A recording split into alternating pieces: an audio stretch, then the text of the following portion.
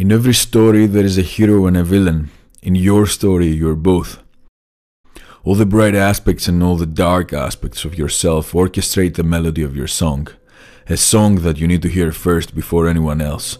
But in order to hear it, you have to learn to listen. To listen not only to what you want, but also to what you're afraid of. Your fears and your darkness aren't detached from you. Do not eschew them. Face them, analyze them, internalize them. The shadow is always there and it will always be. But the shadow can look big or it can look small depending on the angle from which the light caresses you. What is the size of your shadow?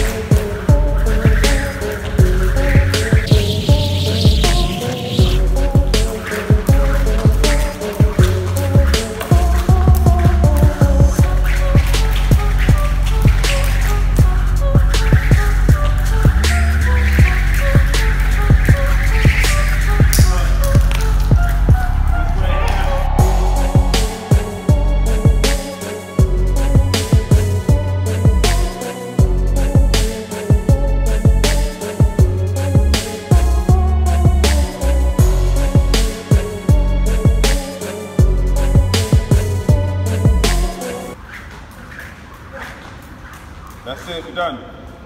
Wicked.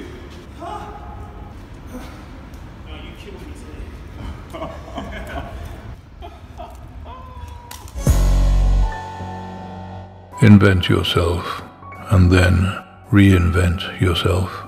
Stay out of the clutches of mediocrity. Invent yourself and then reinvent yourself. Change your tone and shape so often that they can never categorize you.